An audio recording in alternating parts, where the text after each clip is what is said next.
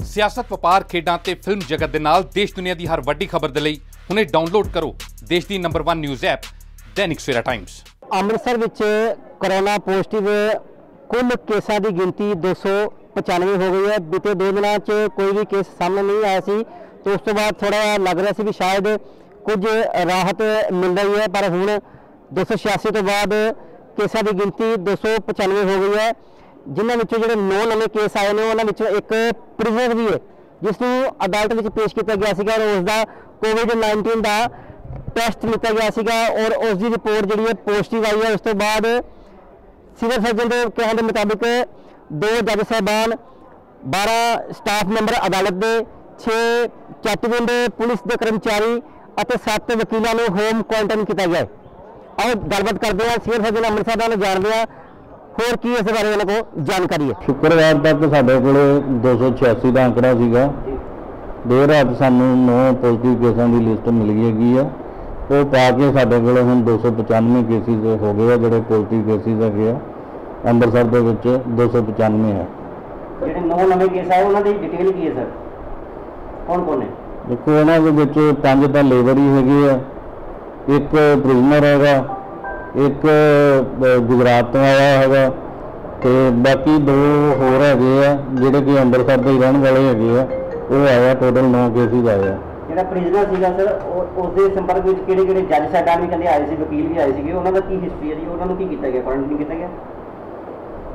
ਜਿਹੜਾ ਜੱਜ ਸਾਹਿਬ ਦੇ ਕੋਲੇ ਪੇਸ਼ ਕੀਤਾ ਸੀਗਾ ਉਹ ਚ ਦੋ ਜੱਜੀ ਸੀਗੇ।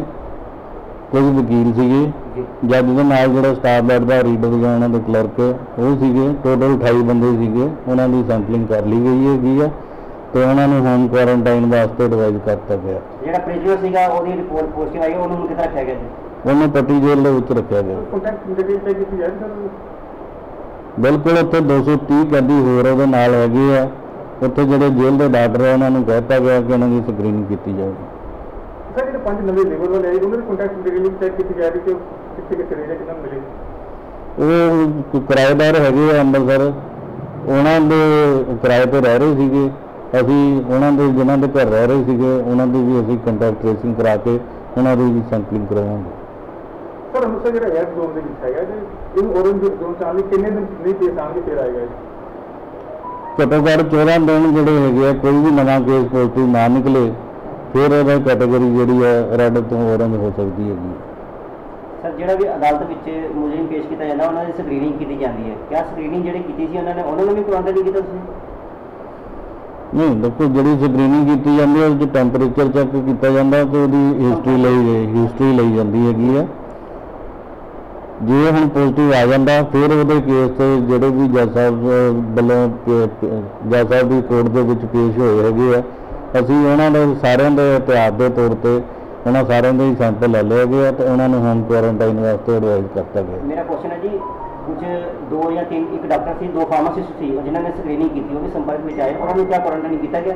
ਉਹਨਾਂ ਦੇ ਟੈਸਟ ਵੀ ਲਿੱਤੇ ਗਏ? ਇਹਦੇ ਬਾਰੇ ਨਾ ਤਾਂ ਮੈਨੂੰ ਜਿਹੜੀ ਟੀਮ ਸੀਗੀ ਉਹਨਾਂ ਨੇ ਕੋਈ ਸੰਪਰਕ ਕੀਤਾ ਹੈਗਾ ਨਾ ਸਾਡੇ ਡਿਸਟ੍ਰਿਕਟ ਐਪੀਡੈਮਿਓਲੋਜਿਸਟ ਨੇ ਕਿਸੇ ਨੇ ਸੰਪਰਕ ਕੀਤਾ। ਉਹ ਜੇ ਸੰਪਰਕ ਕਰਦੇ ਆ ਤਾਂ ਅਸੀਂ ਜ਼ਰੂਰ ਉਹਨਾਂ ਦਾ ਟੈਸਟ ਸਰ ਕਰਾਵਾਂਗੇ ਜਿਹੜਾ ਬਾਬਾ ਬਕਾਲਾ ਦਾ ਕੇਸ ਲੇਡੀ ਦਾ ਸਾਹਮਣੇ ਆਇਆ ਕਿ ਉਸ ਨੂੰ ਘਰ ਭੇਜ ਦਿੱਤਾ ਗਿਆ ਸੀ ਉਸ ਤੋਂ ਬਾਅਦ ਫਿਰ ਉਹਦੀ ਰਿਪੋਰਟ ਕਿਹਾ ਗਿਆ ਕਿ ਪੋਜ਼ਿਟਿਵ ਆਈ ਉਹ ਕਲੀਅਰ ਕਰਿਓ ਥੋੜਾ ਜਿਹਾ ਕੇਸ ਨੂੰ। ਦੇਖੋ ਬਾਬਾ ਬਕਾਲਾ ਦੇ ਵਿੱਚ ਜਿਹੜੇ ਪੋਜ਼ਿਟਿਵ ਕੇਸਿਸ ਆਏ ਸੀਗੇ ਉਹ ਤਾਂ ਅਸੀਂ ਸਾਰੇ ਹੀ ਉੱਥੇ ਗੁਰੂ ਨਾਨਕ ਦੇਵ ਹਸਪੀਟਲ ਜਾਂ ਜਿਹੜੇ ਨੰਦੇੜ ਸਾਹਿਬ ਤੋਂ ਸੀਗੇ ਉਹ ਗੁਰੂ ਰਾਮਦਾਸ ਉੱਥੇ ਦਾਖਲ ਕਰਾਤੇ ਸੀਗੇ। ਬਾਕੀ ਜਿਹੜੇ ਸਾਰੇ ਸੀਗੇ ਉਹਨਾਂ ਨੂੰ ਘਰਾਂ ਨੂੰ ਭੇਜਤਾ ਸੀਗਾ ਕਿ ਹੋਮ ਕੁਆਰੰਟਾਈਨ ਰਹਿਣਾ ਹੈਗਾ। ਅਗਲੇ ਦਿਨ ਹੀ ਉਹ ਲੇਡੀ ਦੀ ਰਿਪੋਰਟ ਜਿਹੜੀ ਹੈ ਪੋਜ਼ਿਟਿਵ ਆ ਗਈ ਹੈ ਸਾਡੀ ਆਰ ਆਰ ਟੀ ਟੀਮ ਜਾ ਕੇ ਤੇ ਉਹਨੂੰ ਕੱਲ ਲਿਜਾ ਕੇ ਉੱਥੇ ਗੁਰੂ ਰਾਮਦਾਸ ਦਾਖਲ ਕਰਤਾ ਗਿਆ।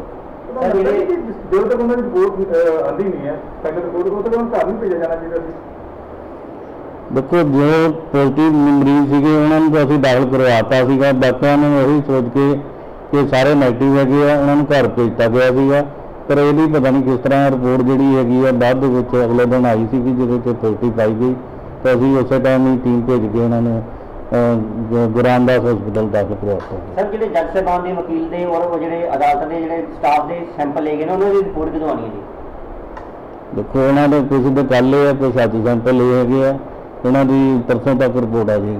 ਅੰਮ੍ਰਿਤਸਰ ਦੇ civil surgeon doctor Jugal Kishore ਨਾਲ ਗੱਲਬਾਤ ਕੀਤੀ ਗਈ ਹੈ ਔਰ ਉਹਨਾਂ ਨੇ ਦੱਸਿਆ ਵੀ ਜਿਹੜਾ ਇੱਕ ਪ੍ਰਿਜ਼ਨਰ ਕੋਰੋਨਾ ਪੋਜ਼ਿਟਿਵ ਪਾਇਆ ਗਿਆ ਉਹਦੇ ਸੰਪਰਕ ਵਿੱਚ ਆਏ ਦੋ ਜੱਜ ਸਾਹਿਬਾਨ 12 ਅਦਾਲਤ ਦਾ ਸਟਾਫ 7 ਵਕੀਲ ਅਤੇ ਚੱਟਵਿੰਡ ਪੁਲਿਸ ਦੇ 6 ਕਰਮਚਾਰੀ ਜਿਹੜੇ ਨੇ, ਉਹਨਾਂ ਨੂੰ ਹੋਮ ਕੁਆਰੰਟਾਈਨ ਕੀਤਾ ਗਿਆ। ਔਰ ਇਹਨਾਂ ਸਾਰਿਆਂ ਦੇ ਸੈਂਪਲ ਲਿੱਤੇ ਗਏ ਨੇ ਔਰ ਇੱਕ ਦੋ ਦਿਨ ਵਿੱਚ ਹੀ ਇਹਨਾਂ ਸੈਂਪਲਾਂ ਦੀ ਰਿਪੋਰਟ ਜਿਹੜੀ ਹੈ ਉਹ ਆ ਜਾਵੇਗੀ। ਫਿਲਹਾਲ ਤਾਂ ਦੱਸ ਦਈਏ ਚੱਟਵਿੰਡ ਪੁਲਿਸ ਨੇ ਟਰੈਕਟਰ ਚੋਰੀ ਦੇ ਕੇਸ ਵਿੱਚ ਇੱਕ ਪ੍ਰਿਜ਼ਨਰ ਨੂੰ ਗ੍ਰਿਫਤਾਰ ਕੀਤਾ ਸੀ ਔਰ ਉਸ ਨੂੰ ਅਦਾਲਤ ਵਿੱਚ ਪੇਸ਼ ਕੀਤਾ ਗਿਆ ਸੀ, ਪਰ ਉਸ ਦਾ ਕੋਵਿਡ-19 ਟੈਸਟ ਲਿਆ ਗਿਆ ਸੀ, ਜਿਹੜਾ ਕਿ ਪੋਜ਼ਿਟਿਵ ਆਇਆ ਉਸ ਤੋਂ ਪੋਜ਼ਿਟਿਵ ਆਉਣ ਤੋਂ ਬਾਅਦ ਜਿਹੜੇ ਪ੍ਰਸ਼ਾਸਨ ਦੇ ਹੱਥ ਪੈਰ ਫੁੱਲ ਗਏ ਅਤੇ ਉਸ ਤੋਂ ਬਾਅਦ ਜਿਹੜੇ ਵੀ ਉਸ ਦੇ ਸੰਪਰਕ ਵਿੱਚ ਆਏ ਸੀਗੇ, ਜੱਜ ਸਾਹਿਬਾਨ ਜਾਂ ਅਦਾਲਤ ਦਾ ਸਟਾਫ, ਪੁਲਿਸ ਕਰਮਚਾਰੀ ਅਤੇ ਵਕੀਲ, ਉਹਨਾਂ ਨੂੰ ਹੋਮ ਕੁਆਰੰਟਾਈਨ ਕੀਤਾ ਗਿਆ ਹੈ। ਕੈਮਰਾ ਪਰਸਨ ਵਿਪਨ ਸ਼ਰਮਾ ਨਾਲ ਸਿਕੰਦਰ ਪਸੀਚਾ ਦੈਨਿਕ ਸਵੇਰਾ ਟੀਵੀ, ਅੰਮ੍ਰਿਤਸਰ।